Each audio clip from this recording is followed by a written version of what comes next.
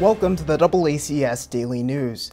Two Attleboro High School students have been named National Merit Scholars. The program recognizes students that have scored in the top 3% on the PSAT. Guidance counselor Julie Little and Principal Bill Runey spoke more about it. Attleboro High School, we, we really believe in, um, in, in, the PSAT. Um, we actually pay for all of our sophomores to take the PSAT. And then from there, what we do is we strongly encourage students to take it during their junior year.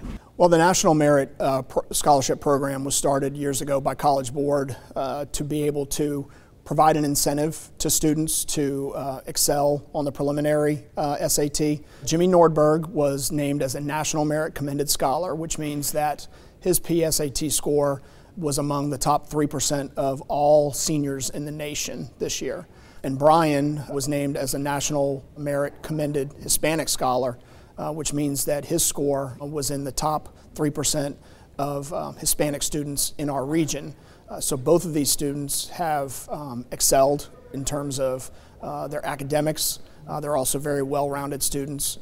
Hi, my name is Brian McKeever. I'm a senior at Attleboro High School, and I have been recognized as a National Hispanic Scholar.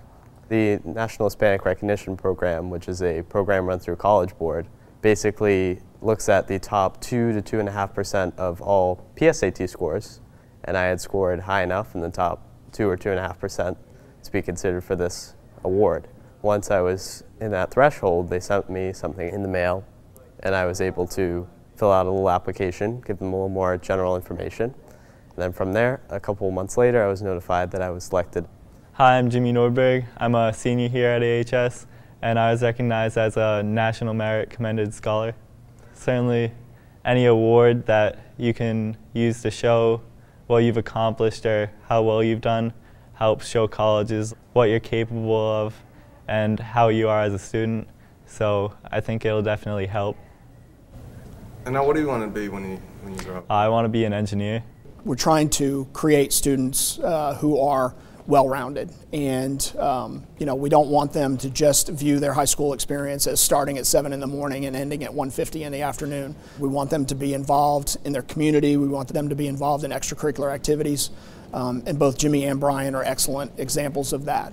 Um, Brian is, uh, is involved in our robotics club. Um, he's also involved in our Leo Club, which is a service organization. Um, and he also, in his spare time, uh, participates in Taekwondo. Jimmy is also uh, involved in our extracurricular activities. Um, he participates on the lacrosse team, and both of them have given service outside the classroom to AHS. I think it's a real differentiator between candidates. If you have two similar students, you know, similar test scores, similar GPAs, similar involvements, this recognition program recognizes that I had a high enough GPA, I'm at least a quarter Latino, which I'm half because of my mom's side, and I scored a high enough on the PSAT in the top two to two and a half percent of Latinos in this region. Both boys are applying to um, highly selective institutions, and um, but no matter what their career path is, it absolutely opens doors. Um, it, it demonstrates their, their academic excellence and you know they work very hard. And so whether their path is college or career or military, certainly it is something that is a feather in their cap. And it also goes to show, you know, they received excellent preparation along the way um, in their classes and uh, supportive families. So it's all tied together. I think it's hard to pick certain teachers because most of the teachers in general I've had here have all been really good, have all been really helpful. I think probably my parents because my whole life I've kind of been pushed to get good grades, and I always read a lot as a kid, so I think it's just helped me become a good student. That's it for today's update. For AACS News, I'm Austin Ricketts.